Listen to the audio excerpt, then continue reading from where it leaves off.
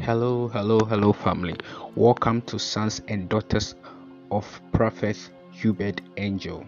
In this video, uh, Prophet Uebert Angel was teaching on the character of a prostitute and that of comparing it to that of the pro- uh, to the uh, believer, which is Christian. He says that uh, prostitutes are very diligent when it comes to their business even if it's rain they are very diligent. But when it comes to the believer we are so lazy and the believer is so weak. Please let's we'll go to the video. Please make sure you subscribe make sure you like make sure you click the notification button in the case of next video. You try to create you, you have got a smaller one now smaller one.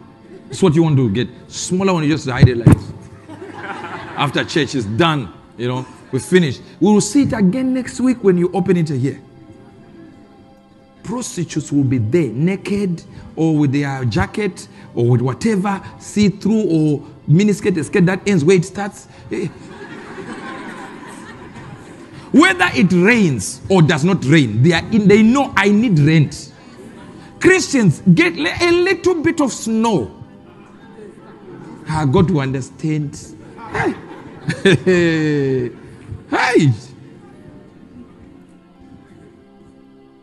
that's why there seems to be a certain character in a prostitute that is not found in a christian and notice what the scripture say says if you sleep with a prostitute you have become a prostitute. Ah, but I'm the Christian. Why can't the prostitute become a Christian? I thought got, she got an impartation.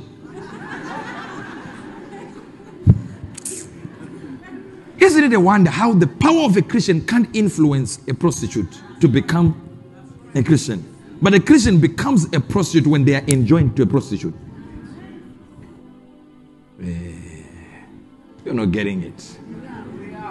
That means there is a certain level of influence a prostitute has, a certain level of power that Christians are too weak. We are not bold enough. so, so guys this is it so prophet Uebert angel is encouraging the believers to be strong and bold thank you for watching. Please subscribe please share.